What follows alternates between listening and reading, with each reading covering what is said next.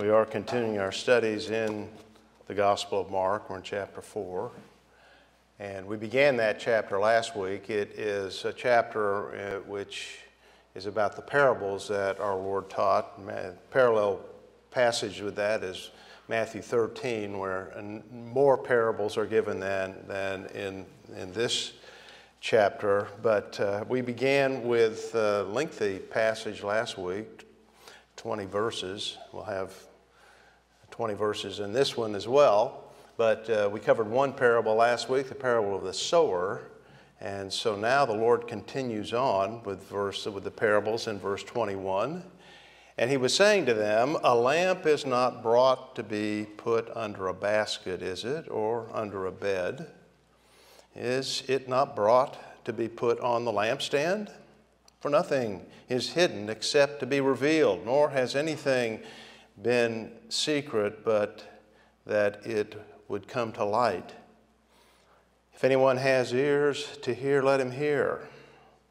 And he was saying to them, Take care what you listen to. By your standard of measure, it will be measured to you, and more will be given you besides. For whoever has, to him more shall be given, and whoever does not have, even what he has shall be taken away from him. And he was saying, The kingdom of God is like a man who casts seed upon the soil. And he goes to bed at night and gets up by day, and the seed sprouts and grows. How, he himself does not know. The soil produces crops by itself first the blade, then the head, then the mature grain in the head. But when the crop permits, he immediately puts in the sickle because the harvest has come. And he said, How shall we picture the kingdom of God? Or by what parable shall we present it? It's like a mustard seed, which then, when, when sown upon the soil, though it is smaller than all the seeds that are upon the soil, yet when it is sown, it grows up and becomes larger than all the garden plants and forms large branches so that the birds of the air can nest under its shade. With many such parables, he was speaking the words, the word to them so far as they were able to hear it. And he did not speak to them without a parable, but he was explaining everything privately to his own disciples. On that day, when evening came, he said to them, Let us go over to the other side. Leaving the crowd, they took him along with them in the boat, just as he was, and other boats were with him. And there arose a fierce gale of wind, and the waves were breaking over the boat, so much that the boat was already filling up. Jesus himself was in the stern, asleep on the cushion. And they woke him and said to him, Teacher, do you not care that we are perishing? And he got up and rebuked the wind and said to the sea, Hush, be still. And the wind died down, and it became perfectly calm. And he said to them, Why are you afraid? How is it that you have no faith? They became very much afraid and said to one another, Who then is this that even the wind and the sea obey him? May the Lord bless this reading of his word and our time of study in it together. Let's bow in prayer. In the 18th century, preachers like George Whitefield, and John Wesley were known for what was called field preaching. They left the churches and chapels to preach in the open air. Uh, they really had no choice. The clergy of the Church of England disliked their message and barred them from the pulpits, but also the churches couldn't hold the crowds that came to hear them. And so they went out into the fields and the open air to preach to many thousands of people. They weren't the first to do that. Long before the Wesleys, Jesus went out to preach in the fields and did so for the same reasons. He was becoming unpopular in the synagogues and with the religious leaders, but Also, the crowds were so large that the only place they could gather was outside in the open air. And so in Mark 4, he is by the Sea of Galilee preaching to a very large crowd that gathered to him. That's how the chapter begins. In fact, the crowd was so large that Jesus taught them from a boat out on the water.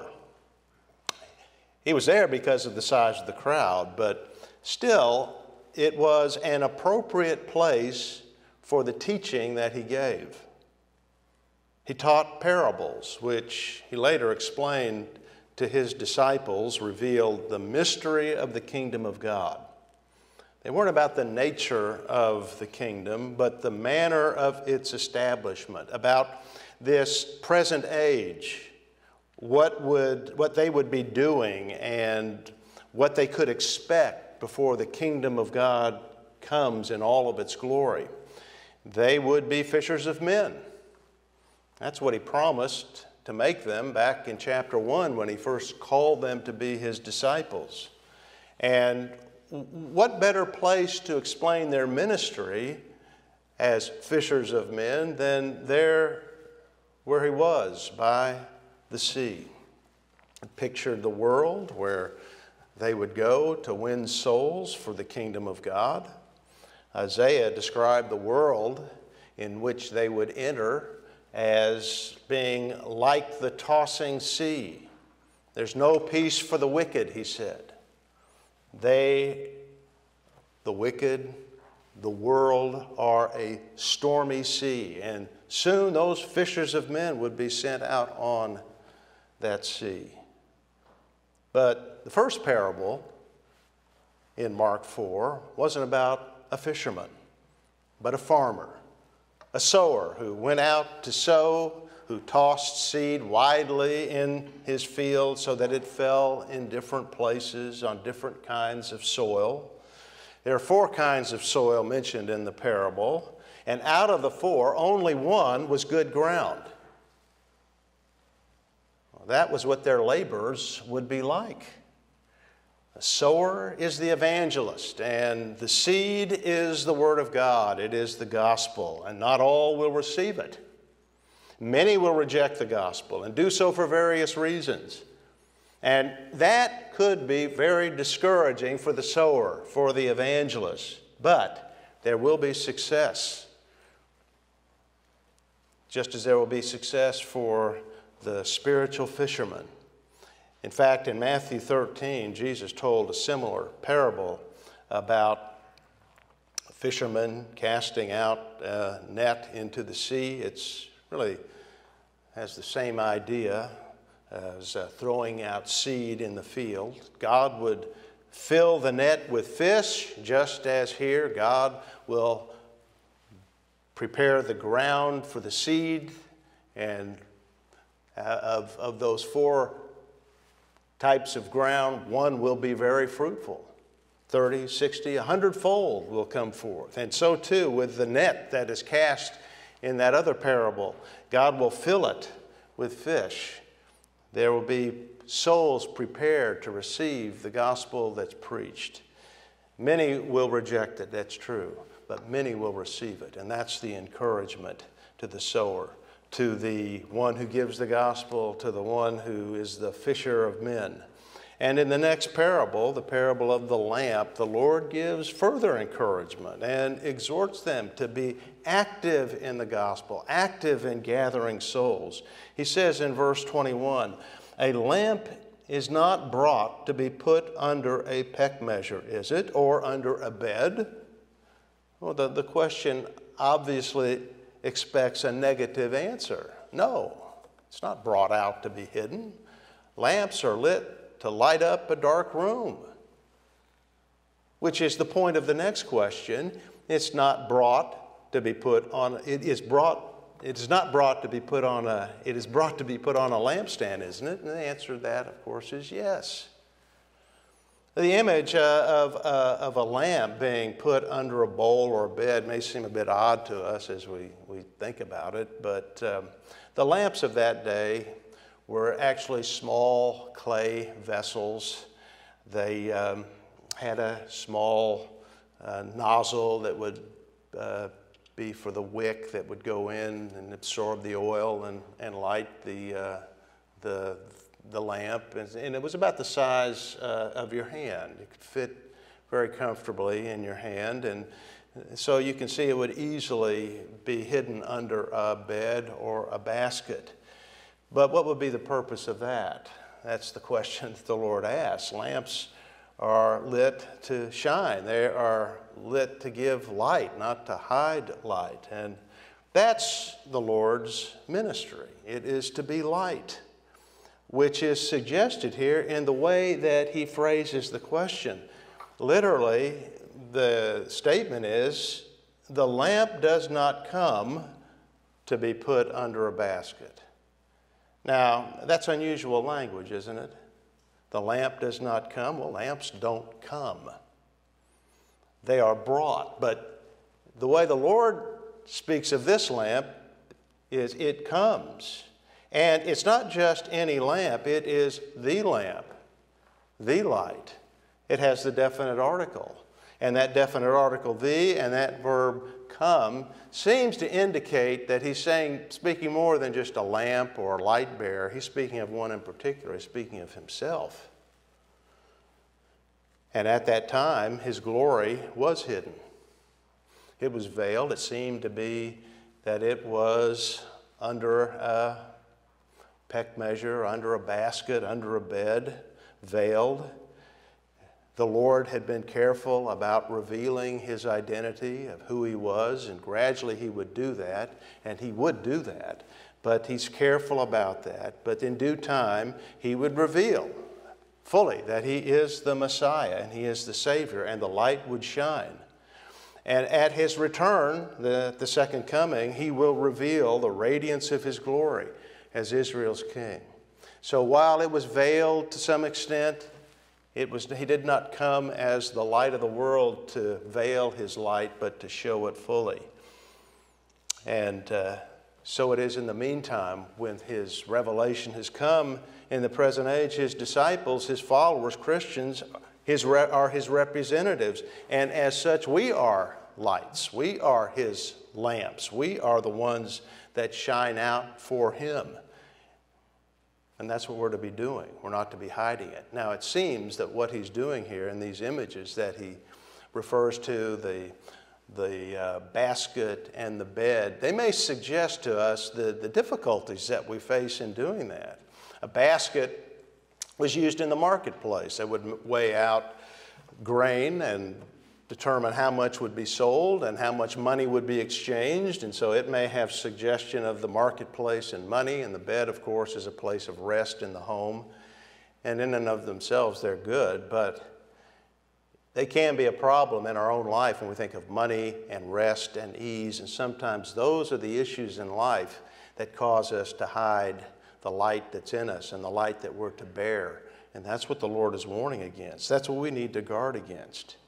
Uh, the, the love of money, the desire of ease, hiding the light from others. We need to guard our hearts from that.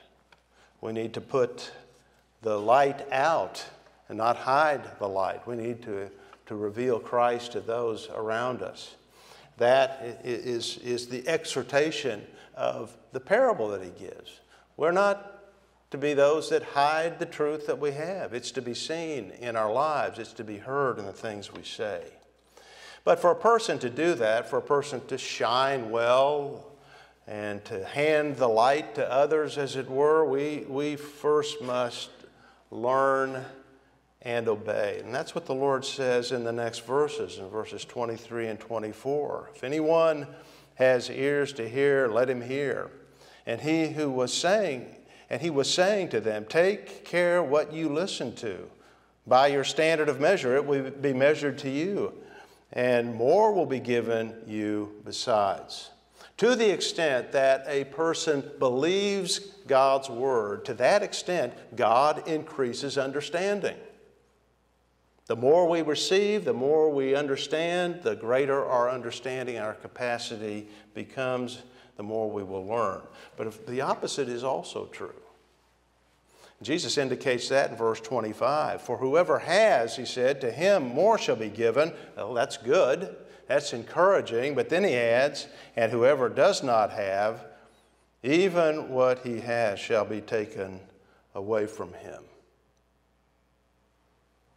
Uh, what he's saying really is there's no idling in spiritual matters, there's no standing still in the Christian life. We are either gaining or losing, advancing in the faith or retreating.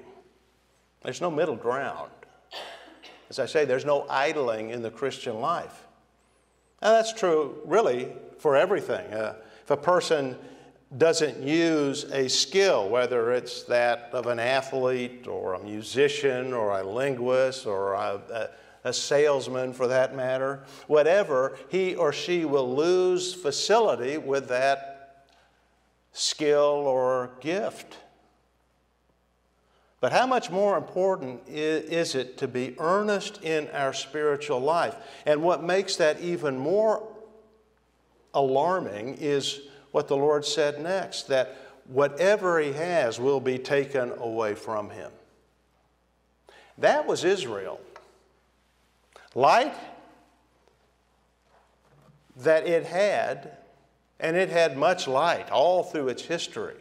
From the time Moses gave the law, all the way through the prophets to the time that Jesus had come, it had light, but that light would be removed from it. It had rejected the light that it had been given, and so no light would be given. Well, I say that was true of Israel. I think historically that is what he's speaking of here, but it is true of the church as well. I think of the church at Ephesus that the Lord speaks to in Revelation chapter 2. And in verse 5, he tells them that uh, they are to repent. They had much truth, but they weren't truly responding to it. They had lost their first love, and he says, Repent, or their lampstand would be taken from them. And so it is. Failure begins with not taking seriously the Lord's words. He says, Take care what you listen to. I think we made this point last week, but it's worth bearing again. It's worth stating again, and that is that our response to the Word of God has serious results or serious consequences. Good results or bad consequences.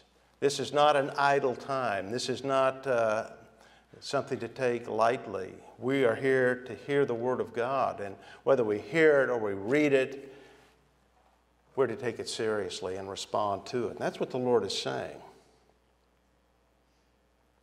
In verse 26 is a third parable, the parable of the seed growing. It has a close relationship to the parable of the sower, as you can see. Both describe what is occurring in the, this present age, the interim age, before the revelation of the kingdom of God, before our Lord comes and it, and it is established in all of its glory. But while the parable of the sower emphasizes the condition of the soils, good or bad, this parable emphasizes the vitality of the seed, the, the power of the Word of God, the power of the gospel. Again, the, the worker for the kingdom is a farmer who casts seed on the soil and goes to bed at night. In the morning, he finds that the seed sprouts and grows. How, he himself does not know. However, it happens, and whatever happens is unobserved. He goes to sleep at night. He wakes up, things have occurred. What the sower knows is he didn't do anything to cause its growth. Its power is a mystery to him. Verse 28 The soil produces crops by itself. First the blade, then the head, then the mature grain in the head. Now, the key word there in, in the statement the Lord made is by itself. It's the word from which we get automatic or automatically. The seed contains the principle of life within itself, and the soil, when it's in the soil, it produces growth. So it is with the gospel. It is invested with life changing power. The gospel has within it the power to effect change. In Hebrews chapter 4 and verse 12, the author describes the Word of God as living and active. As I've said many times, and it's worth saying again, this is a supernatural book, and these words are supernatural. The gospel is supernatural. When it when it falls on good soil, which is to say, when the chosen, when the elect hear the gospel preached, it bears fruit in faith and conversion. Paul would later explain in 1 uh, Corinthians chapter 3 and verse 6 where he wrote, I planted, Apollos watered, but God was causing the growth. It's important, Paul would say, that I preach the gospel. It's important that people explain the Word of God, but ultimately, it's not my work, it's not Apollos' work, it's not anyone's work other than the, the Lord God who gives the growth. And that's what's going on here. Soul winning is difficult work, just as farming is difficult work, or fishing is difficult work. Soul winning is too, it, but it is supernatural work. The farmer throws out seed, but he doesn't make it grow. The evangelist gives the gospel, but doesn't cause the reception or growth. God does that. He causes the light that shines in the darkness to dispel the darkness and cause the heart to change and respond to the light that's given to it. And over the last 2,000 years, God has caused a lot of growth. The church has spread to the four corners of the earth, and that certainly is encouraging. But time is limited. Just as the growing season ends when the reaper comes, puts in the sickle, as Jesus said, and gathers the wheat, so too the spiritual harvest will come when the Lord gathers souls into the kingdom. In Matthew chapter 9, verses 37 and 38, Jesus tells the disciples, The harvest is plentiful but the workers are few. Therefore, beseech the Lord of the harvest to send out workers into his harvest.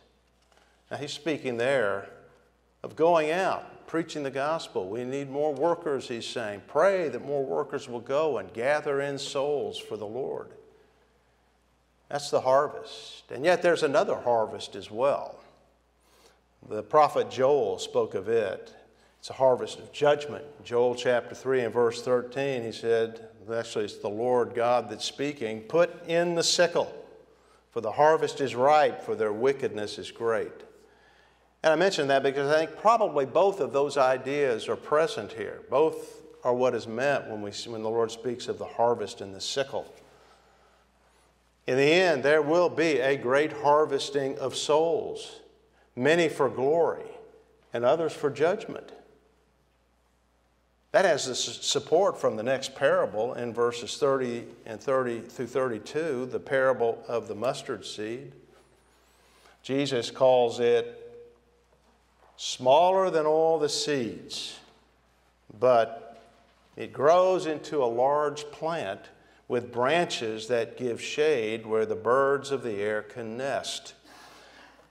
The work of God grows quickly from the smallest to the largest. Uh, just a word about what the Lord says there about the mustard seed. It's often a, a point of criticism with skeptics about the Lord's statement regarding the mustard seed as smaller than all seeds. It's not smaller than all seeds, not the smallest seed in the world. But that, that is not what the Lord was teaching here. He wasn't giving a botany lesson. His point was it was the smallest seed his audience was familiar with. The mustard seed was proverbial in Jewish literature for its smallness. And that's the point the Lord is making. Small and insignificant as it is, in, as, as its outward appearance is, it has within it the potential, the, the power to become a great plant, one larger than all the garden plants, as he says. So it is with the Lord's work in this age. It, it began like a small seed with Jesus, a baby in Bethlehem. When he died, the work was insignificant in size, small and discouraged. In fact, when the Lord died on the cross, none were believing. Or at least they were discouraged and scattered. Th- those that did honor him with burial, uh, Nicodemus and Joseph of Arimathea, and even the women who came to provide the tomb and the body with spices, did so not believing in a resurrection, did so because they honored him out of love, but not out of hope. And the other disciples were scattered. So when they come to the end of the ministry, and with his death on the cross, everything seems to have come to nothing. And then there's the resurrection on the third day. And then uh, during that 40 day period, he appeared to a number of people. In fact, Paul says in 1 Corinthians 15 6 that he appeared to over 500 brethren. So, from uh, a very small group of disaffected disciples and, uh, and friends Suddenly there are 500 who are understanding and believing. Now, that is a lot of eyewitnesses. That is a number of eyewitnesses, particularly when you consider that in a court of law, uh, a, a point of truth could not be established except on the testimony of two or three witnesses. Well, here we have over 500.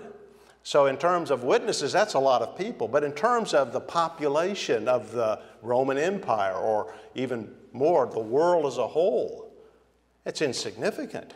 And so it begins small, but then we begin to read in the book of Acts, on the day of Pentecost, the gospel is preached. There's a, a number of people gathered in an upper room, and they go out and they preach the gospel as the Spirit of God comes upon them, and the result is 3,000 are saved that day. So now, that number from 500 has grown to 3,000.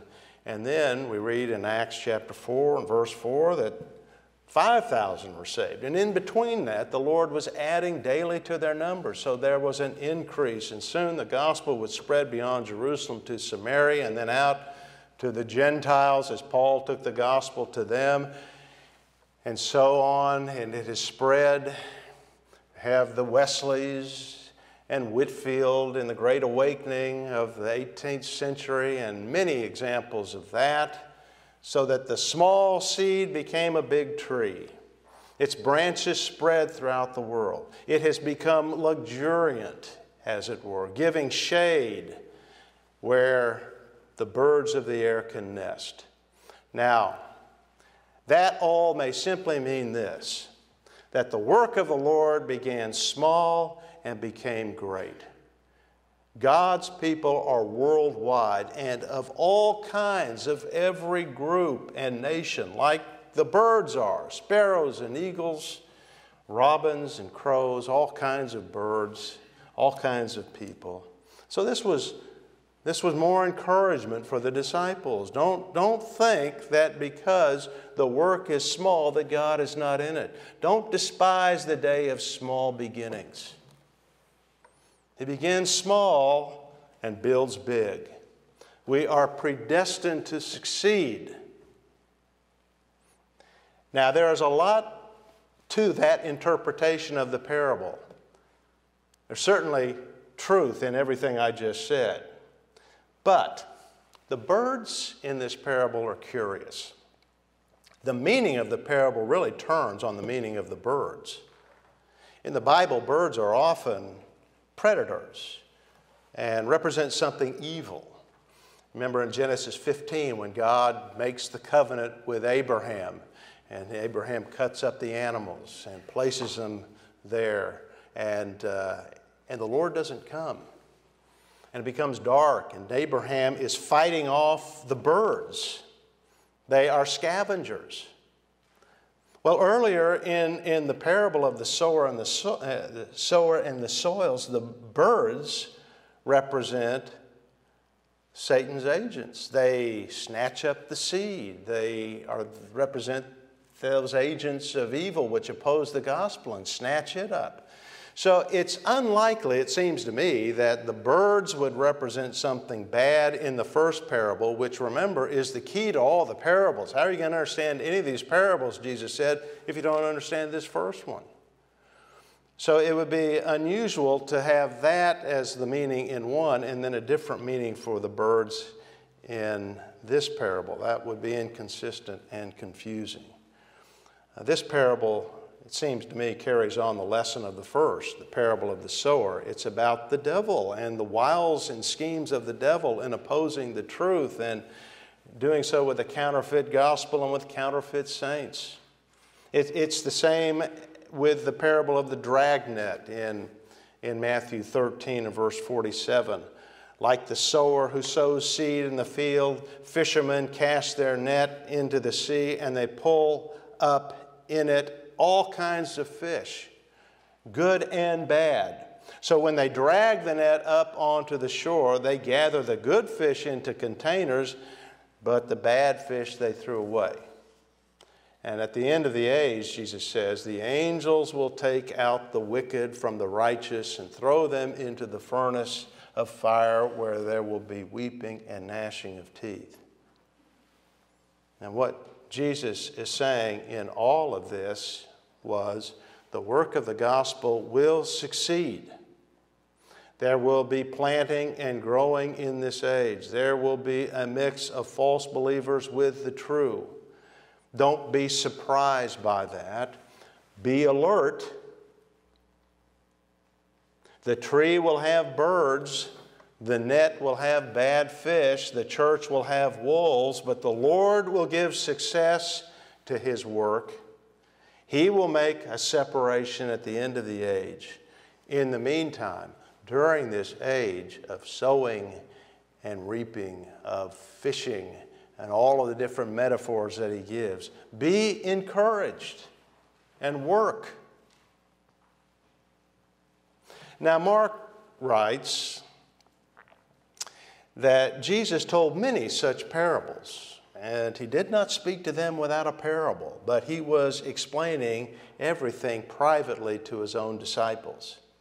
So he's hiding, as it were, the ultimate truth from those that he knew would not believe, but to his own disciples, he was making these things clear and teaching a number of parables. These are only a sampling of the parables that Jesus told that revealed the mystery of the kingdom of God and what the disciples would do in this age before the kingdom comes in its glory.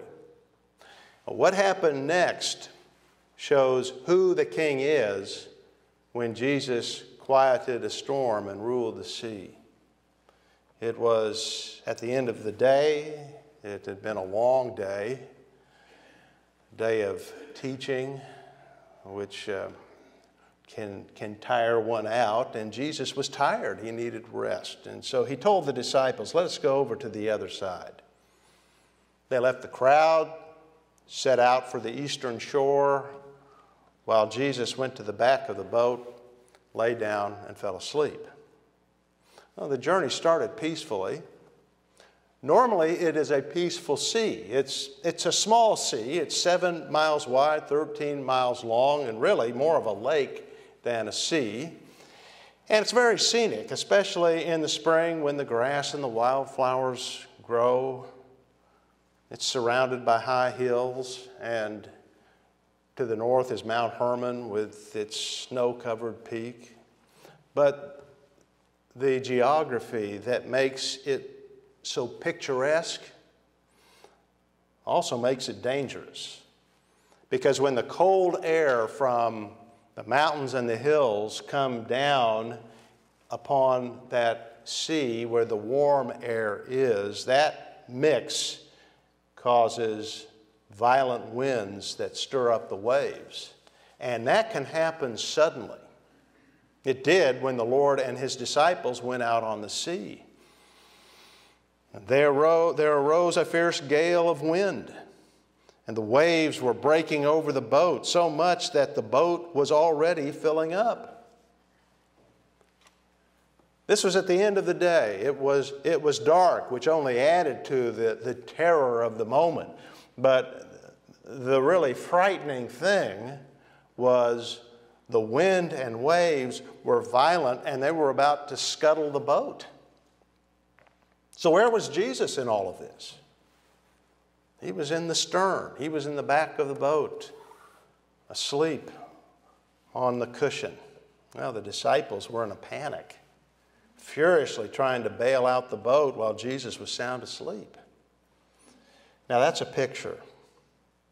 When all around him the world was chaos and uh, people were afraid and losing hope, Jesus was asleep not blissfully ignorant, not out of it. He was at peace. The disciples didn't understand that. His, his slumber didn't reassure them, just the opposite. They woke him and said to him, Teacher, do you not care that we are perishing? Well, it certainly seemed that they were. They were in a real storm. What waves were filling up the boat? And they were fishermen. They, they knew what they were talking about. They knew that sea and its dangers. So they interpreted the Lord's sleep as indifference and rebuked him for it. Well, that's the sense of it. Don't you care? You're sleeping through all of this?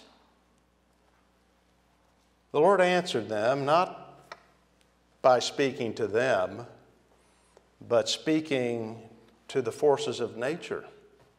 He got up, calmly looked into the gale, and rebuked the wind and said to the sea, Hush, be still. That can be translated silence, be muzzled. And the wind died down and it became perfectly calm. Suddenly, they were on a sea of glass in silence. Nature obeyed his voice.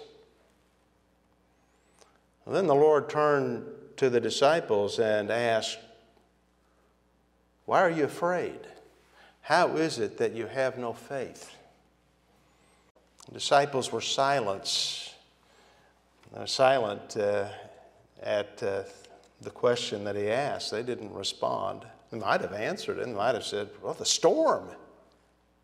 It was real, it was an existential threat. They didn't answer anything, they were as silent as the wind. But the Lord had said, Let us go over to the other side.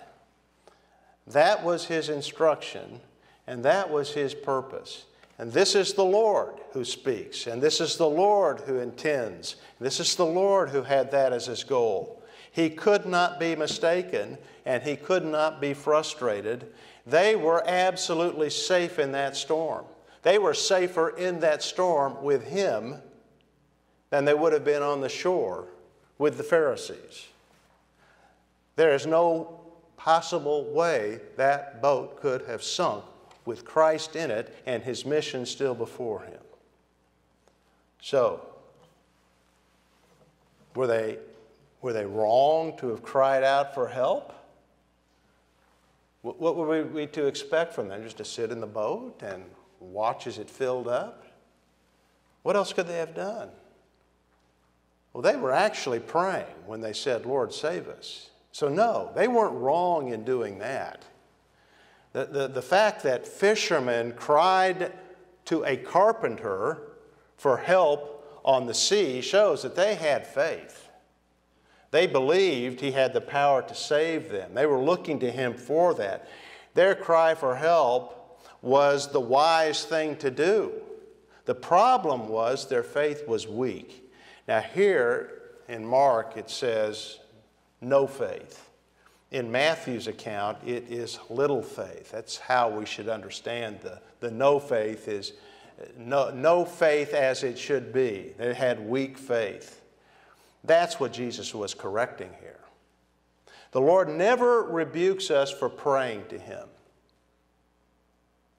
We're told to pray without ceasing. We can't disturb him. We can't annoy him. He wants us to come to him at all times. Matthew Henry wrote, He does not chide them for disturbing him with their prayers, but for disturbing themselves with their fears.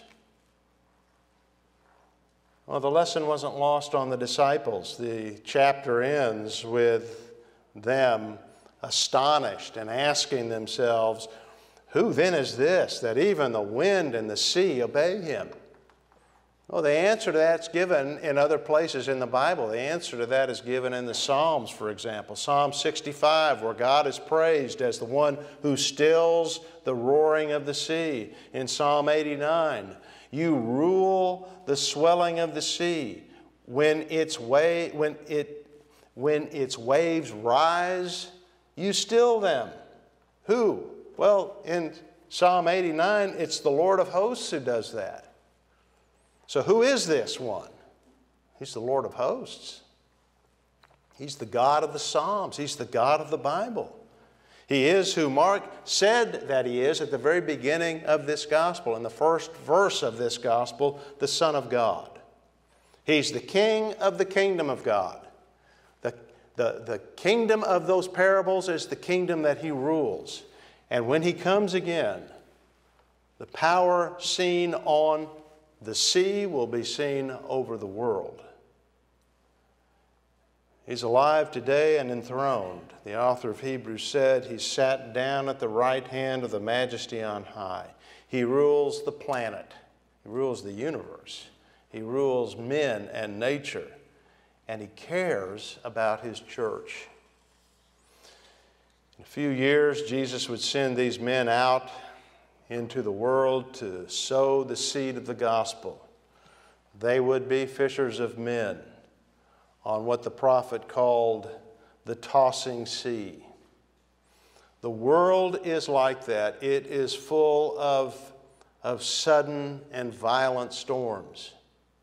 So, this lesson was important for them and would be a great encouragement later when they faced great trials, when they faced persecution, when they faced martyrdom, when they faced the discouragement of these people who have come to them and shown signs of belief and then fall away. That's a discouraging thing. They'll, they'll experience all of these things.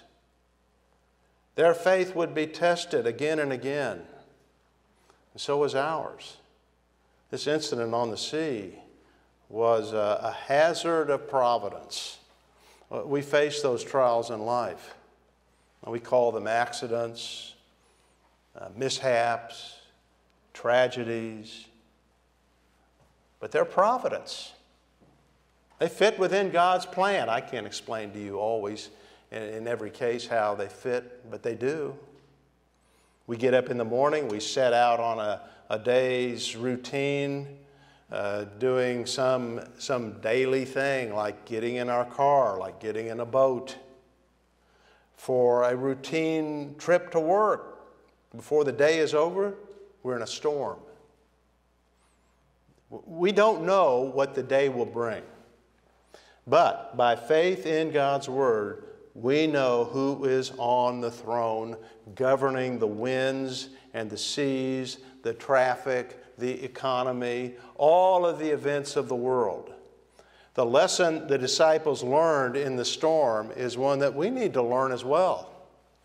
We can follow the Lord with confidence. We can go out each day, live for Him responsibly, knowing that He is governing and He cares. And He will silence the storm and He'll calm the sea in His time and in His way.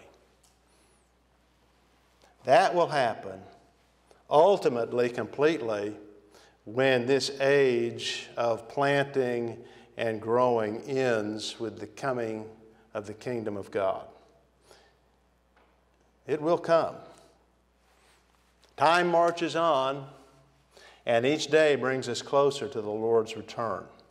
So, we go out on the sea of this world as fishermen. We go into the field as sowers. We go into the darkness as lamps who represent Christ daily until he comes, trusting him in every situation.